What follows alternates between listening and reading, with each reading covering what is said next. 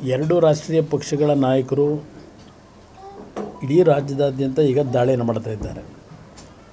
B J P ಪಕ್ಷದ ಗೌರವಾನ್ವಿತ ಪ್ರಧಾನಮಂತ್ರಿಗಳಿಂದ ಹಿಡಿದು ಗೃಹ ಸಚಿವರು, ರಕ್ಷಣಾ ಸಚಿವರು, ಆ ಪಕ್ಷದ ರಾಷ್ಟ್ರೀಯ ಅಧ್ಯಕ್ಷರು, ಹೀಗೆ ಅವರ ಒಂದು ದೊಡ್ಡ ತಂಡ, ಹಲವಾರು ಮಂತ್ರಿಗಳು ಗೌರವಿತ ಪ್ರಧಾನಮಂತ್ರಿಗಳ ಮಂತ್ರಿಮಂಡಲದ ಸದಸ್ಯರುಗಳೆಲ್ಲ ಇಲ್ಲೇ ಠಿಕಾಣಿ ಹೂಡಿದ್ದಾರೆ.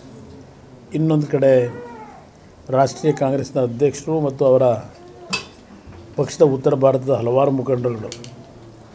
ಅವರೂ ಸಹ ಚುನಾವಣಾ ಪ್ರಚಾರದಲ್ಲಿ ದೊಡ್ಡ ಮಟ್ಟದಲ್ಲಿ ಭಾಗಿಗಳಾಗಿರ್ತಕ್ಕಂಥ ಗಮನಿಸಿದ್ದೇನೆ. ಒಂದು ನಮ್ಮ ನಾಡಿನ ದುರಾದೃಷ್ಟ, ಈ ಎರಡೂ ರಾಷ್ಟ್ರೀಯ ಪಕ್ಷಗಳು ಕರ್ನಾಟಕದಲ್ಲಿ ಇರ್ತಕ್ಕಂಥ ಸಮಸ್ಯೆಗಳ ಬಗ್ಗೆ ಚರ್ಚೆ ಮಾಡ್ತಾ ಇಲ್ಲ.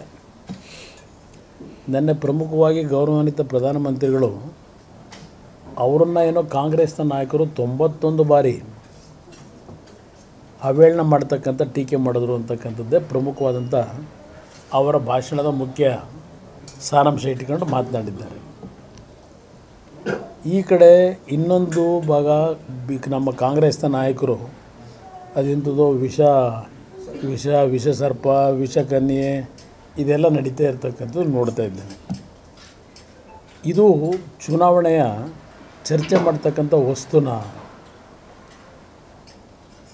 ಕರ್ನಾಟಕದ ಮತದಾರರ ಜೊತೆಯಲ್ಲಿ, ಕನ್ನಡಿಗರ ಜೊತೆಯಲ್ಲಿ ಎರಡು ರಾಷ್ಟ್ರೀಯ ಪಕ್ಷಗಳು ಯಾವ ರೀತಿ ವಿಷಯಗಳನ್ನು ಮುಂದಿಟ್ಟು ಚೆಲ್ಲಾಟ ಆಡ್ತಾ ಇದ್ದಾರೆ ಅನ್ನೋದು ಅತ್ಯಂತ ನೋವಿನಿಂದ ನಾನು ಹೇಳಬೇಕಾಗಿದೆ. ಇವತ್ತು ರಾಜ್ಯದಲ್ಲಿ ಹಲವಾರು ಸಮಸ್ಯೆಗಳನ್ನು ನಾವು ಎದುರಿಸ್ತಾ ಇದ್ದೇವೆ. ಪ್ರಮುಖವಾಗಿ ಕೇಂದ್ರ ಸರ್ಕಾರದ ಮುಂದೆ ಹಲವಾರು ನೀರಾವರಿಯ ಒಂದು ಸೌಲಭ್ಯಗಳನ್ನು ನಾಡಿನ ಜನತೆಗೆ ಸರ್ಕಾರಗಳು ಕೊಡ್ತಕ್ಕಂಥ ಪ್ರಮುಖವಂಥ ಅಂಶಗಳಿದ್ದಾವೆ.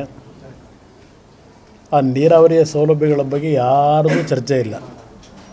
ಕೇಂದ್ರ ಸರ್ಕಾರದ ಮುಂದೆ ಇರತಕ್ಕಂಥ ರಾಜ್ಯದ ಬೇಡಿಕೆಯ ಬಗ್ಗೆ ಇವತ್ತು ಪ್ರಧಾನಮಂತ್ರಿಗಳಾಗಲಿ, ಗೃಹ ಸಚಿವರಾಗಲಿ ಈ ಕ್ಷಣದವರೆಗೆ